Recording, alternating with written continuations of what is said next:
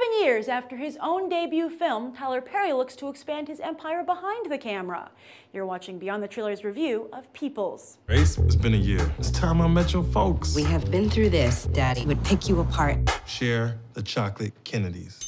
What are you doing here? Thought Saturday was the big proposal day. She can't make a move without daddy, you know? Look, you are just as good as him. I mean, maybe not as good because he's a federal judge, but you know.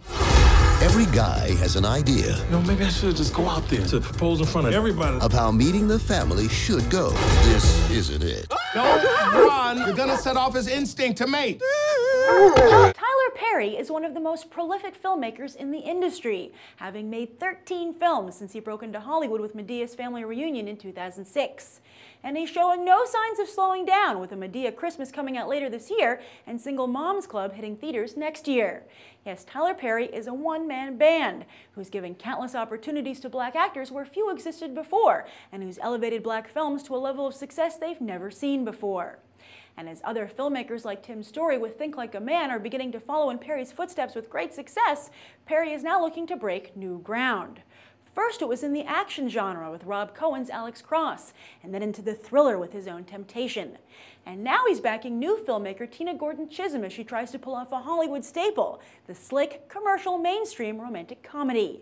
Chism got her start as a screenwriter with Drumline and ATL, apparently picking up a few tricks along the way.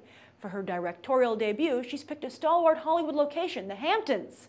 For her cast, she's picked a hot Hollywood starlet, Kerry Washington, from Django Unchained and ABC's popular soap, Scandal. Chism also has her up-and-coming sitcom star, The Office's Craig Robinson, who also co-stars in this summer's This Is the End opposite Seth Rogen and James Franco. And finally, she has her seasoned pro in Living Colors, David Alan Grier. But while she has all the ingredients, can Chism mix them correctly? Perry obviously believes she can, and so does longtime Perry distributor Lionsgate. In fact, they're so excited for Peeples and for you to get excited that they've given me a goodie bag to give away.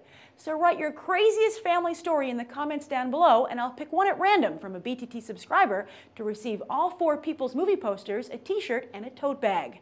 Now, how's the movie? So in the opening, I said the big question here was whether or not Tyler Perry and Tina Gordon Chism could pull off that slick, glossy romantic comedy that so typically comes out of Hollywood. And I think they totally do. In fact, I think they nail it.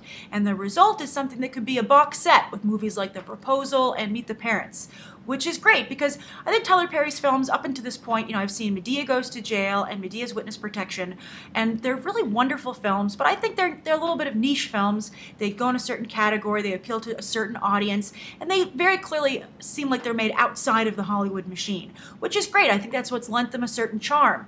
But to see Perry grow as a producer and Tina Gordon Chism just, you know, her in her first debut really really knock it out of the park into into joining the Hollywood machine because I know that's been a sticking point for Perry that you know he wants to be he wants to be part of the Hollywood machine and I think here he totally is. I think the performances across the board are wonderful. Really, every, everyone just everyone pulls together for I think a um, a flawless, seamless performance. I was really impressed.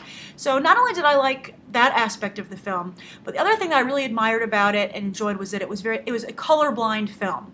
Uh, it has, you know, of course, you know, I would it does I wouldn't say it's whitewashing these characters, but you know, it's meant to appeal to any ethnicity, uh, audience-wise, but also within the film. I think that you know, even though it's an all-black cast, uh, that doesn't really hit you when you're watching it.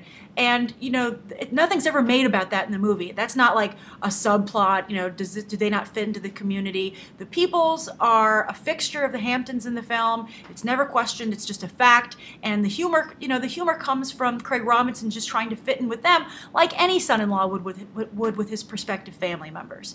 So I actually recommend the uh, Peeples to to anyone. I think it's a great great, brilliant counter programming for the summer. Uh, you know, you could rent it. I think it would make a fantastic rental.